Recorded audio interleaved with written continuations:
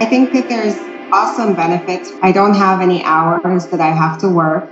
I don't have anywhere that any commute that I have to deal with. I can take a day off whenever I want. I can go to the museum instead of painting and it's still sort of productive as long as I don't have like a deadline, a show coming up that I have to have a number of pieces for. So there's definitely like a romantic lifestyle aspect of it that is really appealing and flexible and awesome. You're getting something for your risk there as an artist. You're getting this awesome fantasy lifestyle in trade for maybe the the risk of lean times. All right, Pencil Kings. Today we're talking to Jane Radstrom. And before we get into anything, I just want to give you the URL where you can get the show notes and anything that we talk about, and that'll be at pencilkings.com slash Jane Radstrom. So that'll be J A N E dash R A D S T R O M. Jane is a fine artist. This is really cool because we haven't had that many fine artists on the podcast.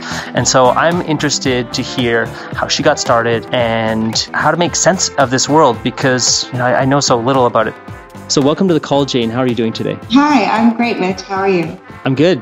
But before we dive into the questions that I really want to ask, what's it like being a fine artist? I went to, you know, the School of Fine Art in uh, Winnipeg, Canada, and I never saw myself as being a fine artist. I always knew I was going to be a commercial artist working on films or video games or comic books or something like that. But is this something that you always knew that you wanted to do, be being a fine artist? You know, I think I did latch onto it early on. Um, when I was a kid, I was playing video games and I thought maybe I wanted to be a concept artist. And then I went to an atelier uh, because in the concept art community, I don't know if people remember an old school board called conceptart.org. I was involved in that. And in that community, it was like really well known that you needed to get the basics down in order to go into that world. So you needed to get real traditional training. So I went to an atelier, which is an Renaissance style school for life drawing and painting, very classical kind of education, working from live models. Um, and at that atelier, I kind of realized that I was way more into the fine art aspect of it and that that was going to be my path. So afterwards, I went to college and um, continued down that path. And what was it about fine art that, that grabbed you more than the concept art that you thought you wanted to do? Um, I think that it was just that I love working from observation and I'm not so good at like space marines or dragons. it's uh, um, the kind of fantastical element of it isn't as appealing to me as just moving paint around, color, design, working directly from observation definitely makes sense to me. So you get out of the atelier and then you go into school and then bam, you're a fine artist. Everything is great, right? or or was the path a little bit different than that? Well, I actually in school I went to Ringling in uh-huh. Sarasota uh-huh. and I majored in illustration because uh, their illustration program was again really traditionally grounded, really kind of realism based with lots of life drawing. And so I thought that you know, this would give me some kind of career options to be able to make my way um, before I could make the fine art thing work out. And that was the case because for the first couple years, I did a lot of freelance. I did freelance like graphic design um, and illustration and branding, which was my favorite aspect of freelance. And then a few years in, I decided to kind of narrow down my focus and really commit to the fine art um, and get the other things off my website and no longer advertise for them so that I could appear a little more serious and committed in the fine art world.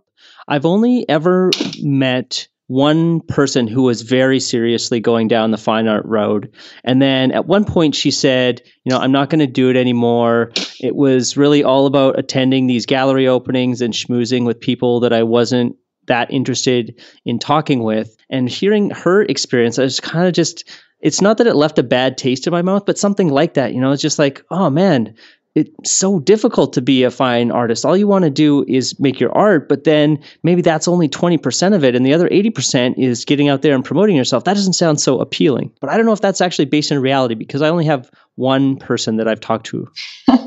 Well, I think that there's a few different paths that people take. Um, I have some friends in fine art who do a lot of their own promotion and they've kept their agreements very open with any galleries so that they're allowed to sell work themselves. They're allowed to make prints and do whatever they want. Um, usually the type of galleries that you can have that kind of agreement with are doing like curated group shows, maybe solo shows, but they're not really um, representing artists full time. So they just accept a specific painting to their gallery for a specific show. And if it doesn't sell, they give it back to you and you can do whatever you want the rest of the time. Uh, there's a benefit to that because if you're really aggressive in promoting yourself, which I have a few friends who are, then you can really do well with prints or selling work on your own outside of the galleries and use those gallery shows for the kind of prestige and the additional audience that they can bring in, but mostly you're just hustling yourself. Um, that's not really what I wanted to do.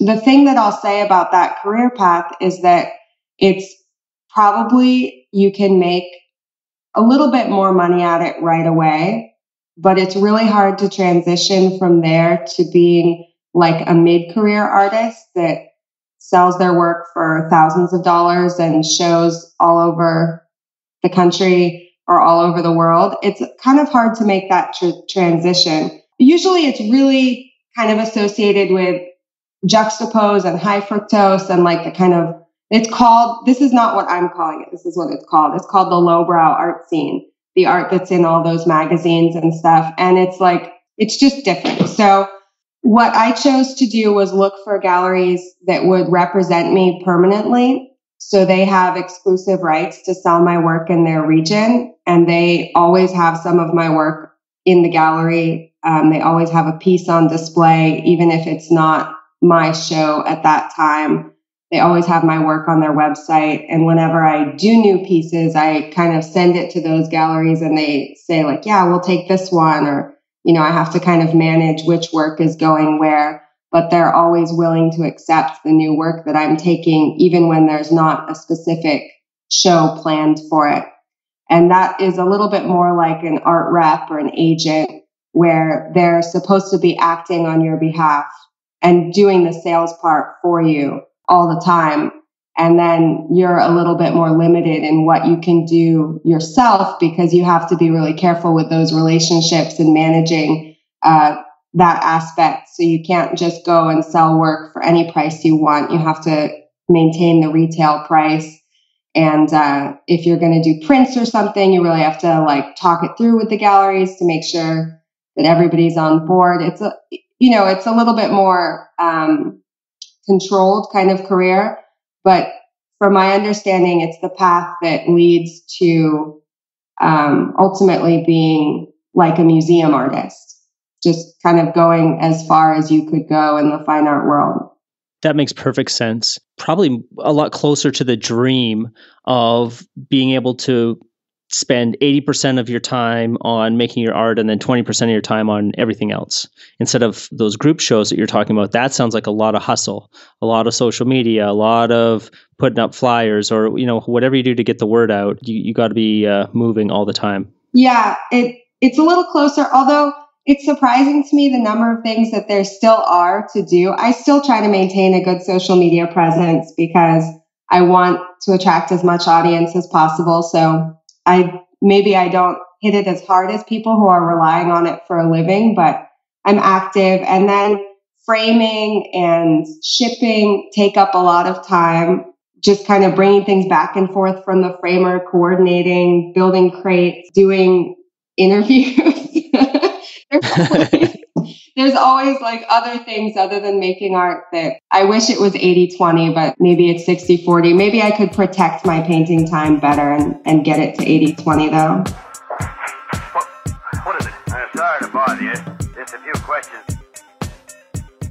So, from the standpoint of the beginner, somebody that wanted to go down this path to eventually be represented by galleries, can you start there, or is there sort of like a prerequisite to kind of open that door in the first place? Well, I think that one of the big prerequisites is that galleries, when they're going to represent an artist, they want to see a history of producing work at a certain quality and with thematic ties. So basically, they want to see that you have a body of work or several connected bodies of work that they're interested in. Because if you send just one good piece to a juried show, then they can accept that one piece and they're not worried about the next piece you do or the last five. But if a gallery is going to have this relationship with you, they want to know that the things you produce and put out there are all, you know, something that they want to represent. So you have to work, I think, in a more cohesive way and you have to have developed a number of pieces. Maybe the minimum would be 12 to start applying to kind of emerging artist galleries that might represent you. And as you build your career, then you want to have large bodies of work that people would say, oh, yeah, that's Jane Radstrom. Basically, working in a theme and working in series. I have a really large body now of these pastel paintings of people, and they're very um, iconic because they're just a person on white. Sometimes there's a chair or a stool, but there's no other background elements in the painting. And I started off with just a single figure, but I've been um, kind of emer- evolving that into uh, overlaying multiple poses into one image. So that is all recognizable. I think that when you see one of those, you you can definitely say, yeah, that's Jane Radstrom. That comes down to like kind of style or voice also. And uh, and I've got tons of them. A gallery I just submitted to recently wanted a minimum of 30 pieces produced in the last two years to show as one body of work in order to just submit and say like, hey, this is me. This is what I've done. For those listening, I encourage you to go to Jane's website, janeradstrom.com or pencilkings.com slash Jane Radstrom and check out some of the examples of the work that she's talking about. They're absolutely beautiful. Thank you. I'm looking at the picture of, of you right now with the two girls kneeling on the chair, whispering kind of a butterfly or a mirrored image. And then there's another one behind, but really great work. And there's artwork that you're like, you can appreciate it, but you'd never want to have it in your home. Yeah. And I think this is artwork that would really fit well in probably like any home. Very nice and clean, at least for my style, my taste. I, I really like it. For some people, it's kind of edgy because I do a lot of girls dressing and undressing, and I am very careful to curate the images so that they are what I believe is tasteful. But um, it's interesting, like on social media, things on Facebook get to other people's walls who have never heard of me. And every so often, I get a reaction where somebody's just like, What is this naked person? and I'm surprised. And that's it? Like you're just surprised? You're like, yeah. does it actually affect you? It doesn't really bother me, but doing a mentorship after school, I went out to Kansas City um, to mentor with an old artist and illustrator, Mark English. And one of the things that he kind of had as advice for me was that nudes are really hard to sell, that that's like the most difficult thing in the fine art world. And so I should do some still lives and landscapes to get my foot in the door. So for the first couple years while I was freelancing doing illustration and design, I was trying to produce like still lives and landscapes, these kind of more acceptable um, things. And I wasn't painting very many of them. I would always, you know, pick up a freelance project instead or decide to spend my time in other ways. And I also wasn't selling any of them. So I, I was kind of discouraged for those first few years. And finally, I just thought, you know, if this is going to be this art thing, is going to be like my side project on the side of illustration and design work, then I'm just going to paint whatever I want. I'm not going to worry about what will sell. And I started this girl series, which is girls dressing and undressing. I had been to a couple gallery shows in town in Austin, Texas, where I lived. And I thought, man, that work was not very good. They should put my work in those galleries. And I sent those girls out just to be like, I have them. I have a bunch of them now. I'm just going to send it. What's the worst that can happen? They're sitting in my room now, not doing anything at all, basically. And those got picked up, and those have been what's really flown for me, what's really started my career. So it's kind of amazing. My husband likes to tell this story that I tried to sell out, but I couldn't. So I had to just do what I love. do you think it's a function that because you enjoyed producing these that that just naturally comes through in the work and that it's almost like no matter what you do when it's like hitting that the the flow state or if it's your passion good things are going to happen from that? Yeah i think that if you're really interested and engaged and you want to be working then that is the best work will come out of that state. So it's hard to put yourself in a direction that you're not that into and produce something great from that. Definitely. I just want to make sure that I understand the story correctly. So, you wanted to be a fine artist. You had some advice saying that, you know, nudes are really difficult to sell, so you should consider doing some more landscape and still lives. You were kind of doing that, but you found like other things to do basically to fill up your time because you weren't jazzed about it. And then you went to a gallery show and you said, "Hey, wait a second my girls are are just as good or better than what's hanging in this gallery show. I got to take the next step and show these to somebody because I'm doing comparable or better work and I, I think I got a shot. Did I break it down correctly? Yeah. And you know, the funny thing is when I submitted that work for the first time, I sent it out to galleries. I actually had thought that about a gallery which was kind of new in town and had like really hip shows like, oh, my work should be here. And then because I spent all the time to update my website and design a nice resume and update, you know, all the materials I needed in order to send to them, I thought there's another gallery in town that's been here a long time. That's a really good gallery. And I already have all this material. So I'm going to send it to this gallery I think I can get in. And then I'm going to send it to this gallery I'd really like to be in that I don't really think I'll get into also, you know? And I just, I already had all the materials, so I sent it to both. And the gallery that I really wanted to be in got back to me the same day. Awesome. Yeah. And the other one actually never got back to me. the one that wasn't as good a gallery. Luckily, that one that was my top pick in the city I lived in, uh, you know, responded so quickly. So I didn't have to keep sending it out for that area. Yeah, yeah, definitely.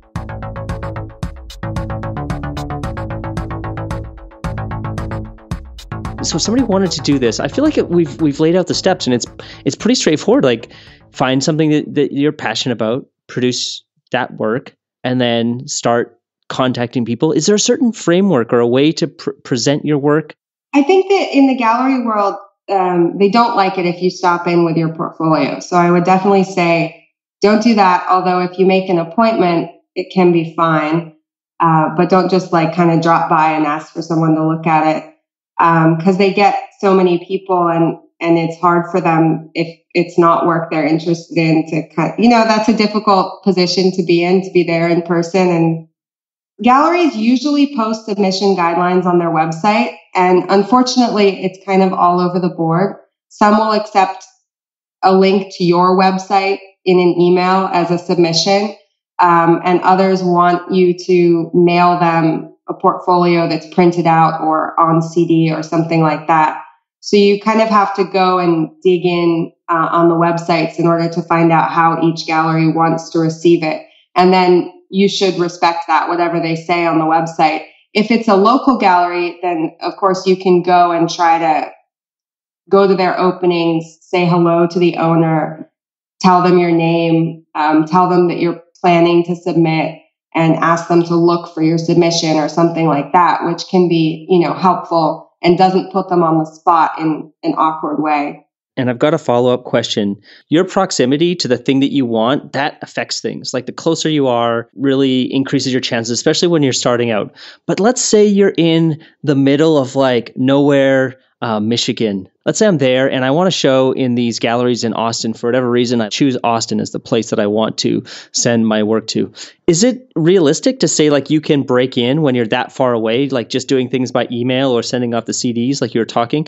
I feel like if you're an amazing talent, like you'll just have success wherever you go. But let's say you're more of like an average person, like you're talented and yes, these are sellable pieces of artwork, but you're just so dang far. Is that going to stop you? Because if somebody's listening to this and they're in Michigan or they're in wherever far flung corner of the world, I don't want them to have any reason not to take the next step with this stuff. Yeah. Well, I think a lot of galleries want to show work from all over the country or the world because it makes their gallery a little more prestigious. They're bringing culture to a city from all over the place. There's a little bit more risk in it for the gallery if they're going to represent an artist from someplace else because uh, they have to ship work back and forth. It's a little bit more expensive. There's more risk in it for you too. Usually the way shipping works is that the artist pays for shipping to the gallery and the gallery pays for shipping back if they don't sell it. They hope they just sell it. You hope they just sell it. But that's the only thing galleries definitely want uh, to hear from people all over to bring that to their city. Perfect. I'm so fascinated about this because it's a form of the art world that I'm just not so familiar with. I don't have any fine art friends, you know, or, or nobody's in my immediate uh, sphere of influence. The whole idea of this starving artist myth, when you think of fine artists, you definitely think about it more than if you were, say, uh, an illustrator or something else. What do you have to say to this? Like, in your first year is it sort of like yep you're going to starve in your first year unless you luck out and, and and win the you know the quote unquote gallery lottery or whatever. What would you have to say from your own experience or from other people that you've seen? You know unfortunately i have worse news. I thought that you struggle and then you get into a good gallery and then you get into a few more good galleries in other regions and then you can expect sales to be sort of consistent. But it's turning out that the consistency is not something you can count on. Uh, even I'm in three good galleries now, but you know, there's just ebbs and flows with the sales cycle. And it helps if you've got solo shows scheduled so that they're really promoting your work. But uh, maybe you're not doing a solo show at each gallery every single year because they have more than 12 artists which most galleries do. So maybe they're scheduling them every two or three years, and uh, your work isn't getting quite as much attention uh, the rest of the time, or the oil market is down in Texas, so sales are slower for a year. Something you can't control at all, you know? So I'm kind of thinking about ways to influence sales a little bit more, even though I'd like to just turn responsibility over entirely to the galleries because it's frustrating to be sitting at home and feel like, oh, these guys are, it's their job to push this stuff. And then like, oh, I didn't sell one this month. Uh oh, you know, you can't quite count on even having broken in, having steady income. You have to be really prepared with good savings plans so that you can kind of ride out lean times and get to the next swell. Hmm. yeah. And I know fine artists like my mentor, Mark English. His work sells for five to 50 grand per painting. And he's in five or six galleries across the country. So he's always got a, at least one, if not two solo shows a year.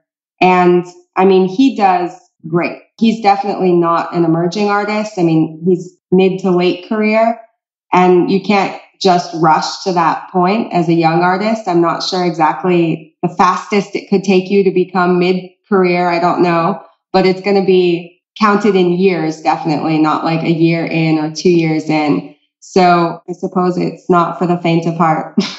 yeah, definitely being an artist is such a romantic idea. If you can make it work, and even for myself too, like being a business owner, my parents have, have said to me, you know, like, why don't you just give this thing up? You had a good job before. Why are you doing this? Why are you like scraping by? I'm not saying that you're scraping by, but I'm saying that I have definitely scraped by. But I'm doing it. I'm doing the thing that I want to do. You know, I'm nobody's in control of me, and I think it's so great that I'm able to kind of design my life. But you're doing the thing that you want to do that makes you feel alive and like you're expressing yourself. Am I off base? Am, am I alone in this? No, I mean, I think that there's awesome benefits. I don't have any hours that I have to work. I don't have anywhere that any commute that I have to deal with. I can take a day off whenever I want. I can go to the museum instead of painting and it's still sort of productive as long as I don't have like a deadline, a show coming up that I have to have a number of pieces for. So there's definitely like a romantic lifestyle aspect of it that is really appealing and flexible and awesome, you're getting something for your risk there as an artist. You're getting this awesome fantasy lifestyle in trade for maybe the the risk of lean times. Definitely. Doesn't matter if we really see it or only imagine we do. We see something that changes us. My favorite piece on your site is the girl in green. I don't know why. Maybe it's just because it's colored a little bit different, so it stands out from the other ones. But if I'm looking at this now and I wanted to buy this painting, what do I do? Do I have to actually go to the gallery in Texas to to find this, or um, is there a way that I could buy it online, or h- how does that work? Almost all my work is in galleries. I have very little of it at my studio. So when people email me and they say they want a certain piece, either it's sold already or it's at a gallery. So I would send you somewhere to buy it. Unfortunately, that one got damaged in transit. And so it's just dead. That one actually, I shipped it to a new gallery and uh, they claim they never received it and it's gone.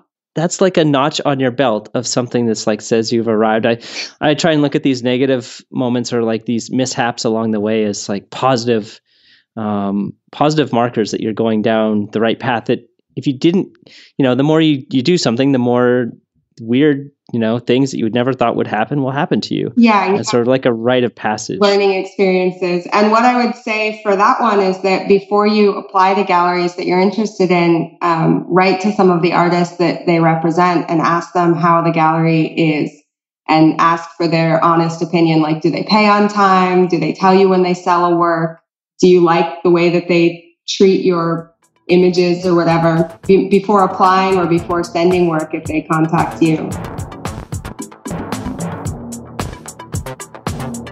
In terms of my work, you know, it's interesting to me to kind of manage this career because I try to think a lot about the themes of my work and about how they're really personal to me. So I hope that when everybody who's listening to this podcast goes to my website, maybe you're at my website right now as you're listening, looking at it. Um, when I'm shooting the pictures for these double exposure paintings, which is how I work, I hire a model and I shoot thousands of photos and I ask the model to move really slowly um, and do an action over and over again until they basically get bored and they're tired of me. So I say like, put your hair up and take your hair down and put it up and take it down over and over. Um, and then they become really candid. And so when I look through the thousands of photos, I'm looking for the images which have this spark of personality, but they're very, very natural. It's like a micro expression on the model's face, which really feels like them. And I try to layer, in the case of the double exposures, I try to layer two of those, which are a little bit different. You know, maybe looking at the viewer and then a more internal pensive moment and try to create an, a more complete picture of the model's personality by combining uh, two of those really natural moments. It's definitely, I think, very personal work, even though I'm painting other people all the time. Uh, and it's really fun for me to be able to just pick that theme and run with it and work out all the nuances of it, kind of go in one direction, in another direction, and really play with it, all my ideas on that theme uh, for a long time. So that's kind of what that series is about, in case I hope everyone's looking at it now and can kind of see that.